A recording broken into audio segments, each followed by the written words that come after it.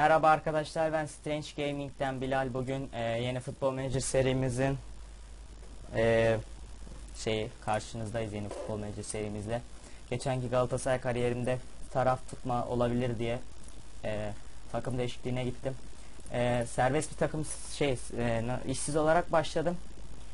Ama şey videoyu da almıştım hata verdi. E, hatadan dolayı oyun kapandı video da kapandı.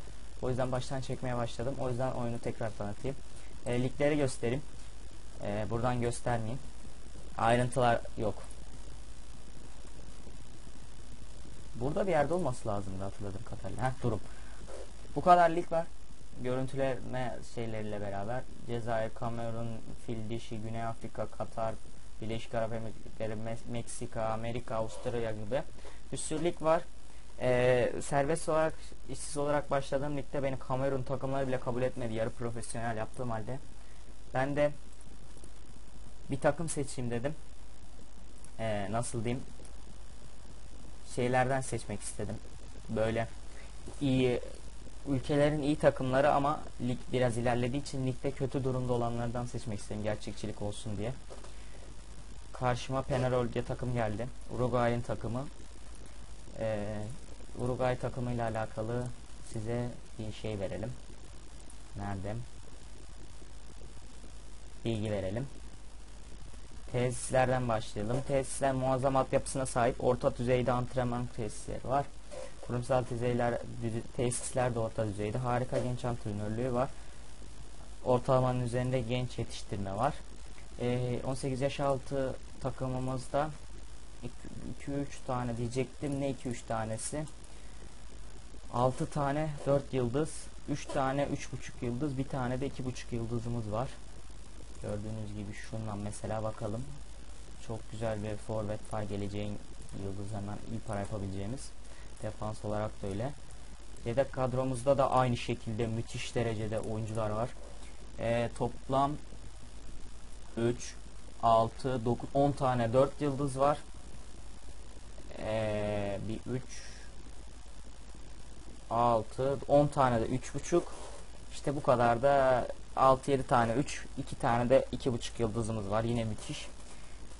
Ee, ana kadromuzda ise yine aynı şekilde 3 6 9 tane 4 yıldızımız var. Gördüğünüz gibi en yetenekli 4 yıldızımız Novicik diye 29 yaşında Uruguaylı bir yetenek. Ee, geçmişine bakmak istediğimizde tanıdık bir takım e, olarak hiçbir takımda oynamamış. Hep Uruguay'dan devam etmiş. Ee, iler sonra defansımız var. Bizera diye Uruguaylı. Ee, e, İngiltere şey İtalya'da oynamış. Ee, Yunan şey İsrail'de oynamış ve Yunanistan. Evet Yunanistan'da oynamış. Ee, alt lig olarak da İspanya'da oynamış bir arkadaş. Ee, Meksika'da falan da oynamıştır, e, oynamış herhalde. Forvetimiz 34 yaşında gördüğünüz gibi kuvvetli bir pivot sa- santrafor. Ee, geçmişinde Kayseri Spor'da oynamış tanıdık bir isim. Zaleta. Ee, yine bu İtalya'da oynamış Bol- Bologna'da. Ee, bakalım Vieira var, Gonzalo Vieira. 26 yaşında kiralık olarak aldığımız bir oyuncumuz. Tanıdık bir takımda oynamamış yine. Yine hep Uruguay'dan devam etmiş. Bir takımda oynamış. O da herhalde Paraguay'da evet. Ee, böyle. Kadromuz güzel. Ee, genç yıldızlarımız güzel. 3.5'tan aşağı şey 3'ten aşağı potansiyeli olan oyuncumuz yok. Yeteneklerimiz çok kuvvetli. Raguso diye bir mesela bunları pahalıya satabiliriz. Ee, genel bilgi olarak en pahalı oyuncumuz Mario Fernandez ee, şeyden ee, Arjantin'den kiralık Arjantinli oyuncumuz Ee, şey var mı? O 1, 1 milyon 200'e şey var satın alma şeyi var opsiyonu var ama opsiyonu alabilecek paramız gördüğünüz gibi çok az Ee, yönetimle bir konuşalım transfer bütçemizi yükseltebilir mi? Yükseltti çok güzel. Ee, maaş bütçemizi yükseltebilir misin? Heh, onu da kabul etti. Ee, en sonunda bir de stadyumlara falan ellemeyeceğim. Bir de altyapı tesislerini geliştirirsen müthiş olur. Tamam. O, o, o olmasın. Yine gördüğünüz gibi bayağı miktarda bize yardım etti. Oyuncu satarak zaten şey yapabiliriz. Ee, bunlara hiç ellemiyorum. Takımın şeyini de bozmak istemiyorum. Ee, video kaç dakika oldu bu arada? 5 dakika olmuş. Güzel gidiyor. Fixtürü gösterip taktiğimizi yapıp videoyu bitirmek istiyorum.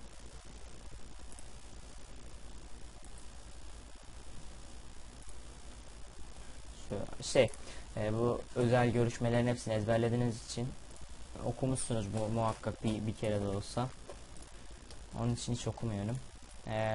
5 kere gördüğünüz gibi şey Güney Amerika kupamız var, kıtalar arası kupamız var. 38 kere Uruguay birincilik kupamız ve 12 kere de Uruguay kupamız vardı. Eskidenmiş bu kupa zaten gitmiş.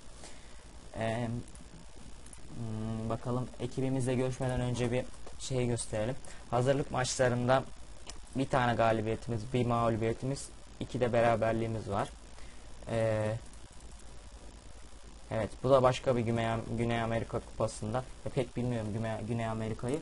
O yüzden e, bayağı iyi ilerlemişiz. Birinci türü azıcık da olsa zorlanmışız, geçmişiz. İkinci turda deplasman evimizde hiçbir şey yapamamışız. Deplasmanda 3-0 yenmişiz. E, birinci tur birinci ayakta ön turları geçmişiz. Birinci tur birinci ayakta Velez'le karşılaşmışız. Gerçekten zorlu bir ekiple karşılaşmışız Arjantin'den. Geçmişiz de. 2-0'lık bir skorla deplasmanlarda.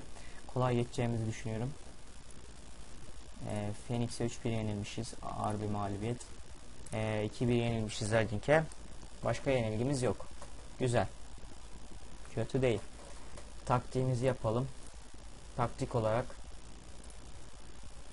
e, benim özel taktiğim vardı.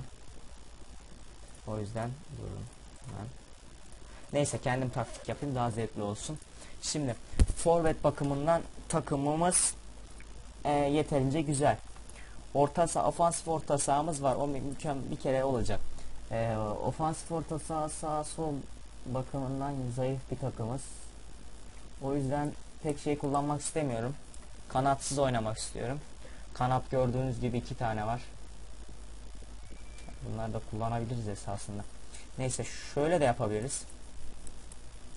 Orta sahamız bir tane var. Defansif orta saha muhakkak olması gereken bir şey. O yüzden kanatlardan birini düşürüp şöyle yapabiliriz. Ya da defansif orta sahamız bir tane daha olabilir. Sağlam bir şöyle bir şey yapabiliriz. Ee, şimdi kadromuzu yerleştirmek istediğimizde 35 yaşındaki şey kalecimizi yerleştirelim. Ee, sağ kanata e, genç oyuncumuzu kolay maçlarda e, standart iki yönlü bek olarak bunları oynatalım. Sol bek, sol bek olarak da genç oyuncumuz yine var. E, genç oyuncumuz sakatlığı biliyorum gördüm. Bunu oynatacağım. Genç oyuncumuz da kolay maçlarda yine. Defans olarak hiçbir oyuncumuz yok. Çok kötü sakat hepsi. Kaçar hafta? 3-4 gün güzel. Ha, bu kayıt edilmemiş zaten 3-4 ay diyor. Me mecbur olarak bunu oynatacağız. E, defansa birbirine bunu koyacağız. Böyle olacak. Defans orta saham iki tane zaten. İkisini de koyduğumuzda He, orta sahalar bir tane. Hangisi daha iyi? Ha, ikinci sıradaki daha iyi. Ee, şeyler yok. Kaç gün sakat? Kayıt edilmemiş. Muhakkak büyük bir sakatlığı var. Evet. Ee, ofansif orta sahamıza yetenekli oyuncumuzdan birini alalım. Genç oyuncumuzu. Forvet'e bir tane Kayseri Spor'dan tanıdığımız oyuncumuz. Bir, bir de e, L'ye alalım. E, şimdi oyuncumuz nerede oynayabiliyormuş? Yeteneklerine bakalım. Yardımcı forvet olarak oynayabilir. E, L'si yardımcı forvet yapalım. E, zaten yardımcı forvette.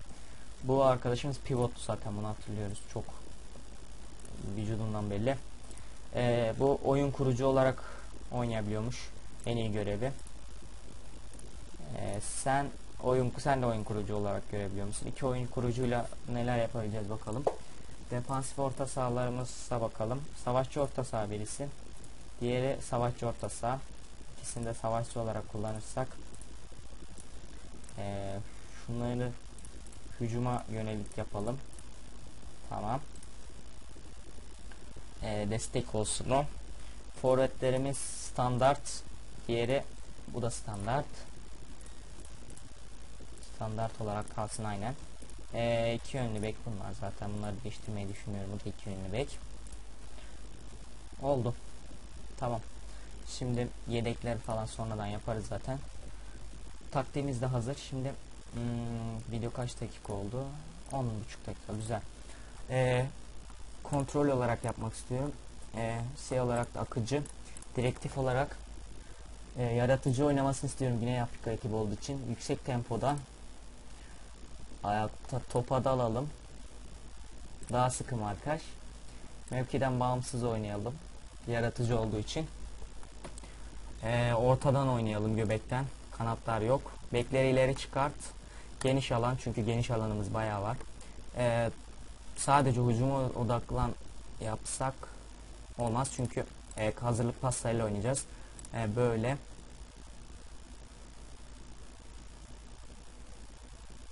Aa, başka tamam yeter fazla şeye gerek yok. Güzel oldu. Antrenmanlar falan yapacağız. Böyle şey e, raporlara bakalım. Hmm. Genç takımlardan e, şu mesela boştaymış ama izleniyormuş.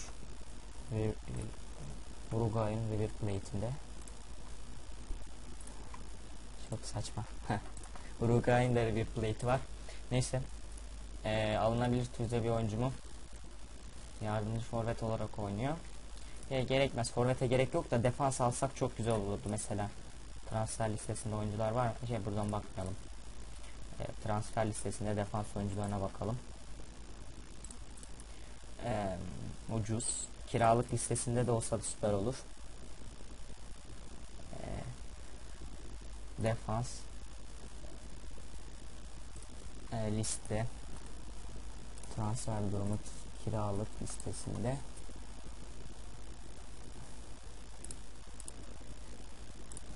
Solvamba'yı alabilirsek iyi transfer olabilir ama bana böyle sağlam değil de nasıl desem güvenilir genç bir defans lazım. Bunların ikisini şey yapsak yeter. Evet arkadaşlar bu videonun da sonuna geldik. Gördüğünüz gibi 13 dakika oldu. Ee, beni iz- dinlediğiniz için teşekkür ederim. Hepinize iyi günler diliyorum.